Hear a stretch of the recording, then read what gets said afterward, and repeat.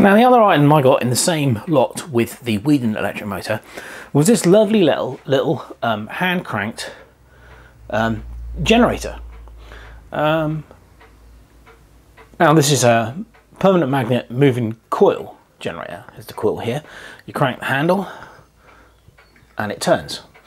Now obviously this is this is missing some parts um, and the base is split in two um, but I connected a meter on this cable here and let it touch that slip ring, which is that little tiny piece there, and then cranked it, and sure enough, we get a voltage out of it, and quite a good voltage too. So obviously this needs a little bit of work. I'm gonna have to make a new base for it and create some kind of brush to rub against that slip ring. But um, I think we can get this going. Again, I've got no idea of the manufacturer or its age. I've never seen one like this before with this uh, gearing and hand crank. But um, it's an interesting piece nonetheless. Well, here's a little hand cranked generator after a bit of a clean up. Um, I've made a new base for it. Turned out that the actual parts were mainly brass underneath all the dirt and grime, so they cleaned up rather nicely. Um, I've also um, added a little bit of wiring here. Um, originally, I, I, did a little bit of research on, on on the internet on this, and I couldn't find one which looked exactly like this. However, I did find several which uh, had the horseshoe magnet in the vertical position. Um, some had the horseshoe magnet up, so it was in a U shaped, and the uh, uh, armature with the windings on it was up the top, and others had the horseshoe magnet up the other way, an inverted U with the armature winding um, at the bottom.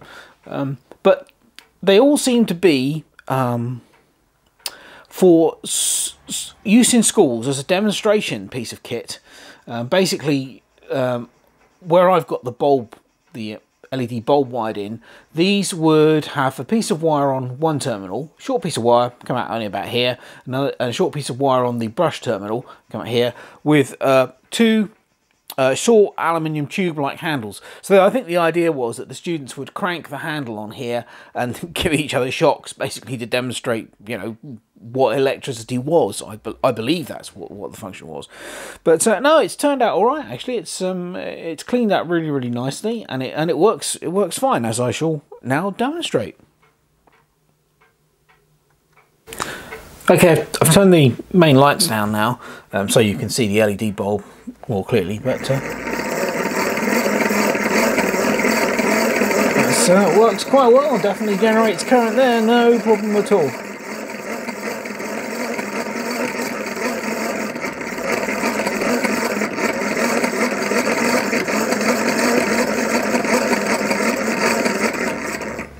Well, there you go. A little bit of uh, ancient um, UK, I assume.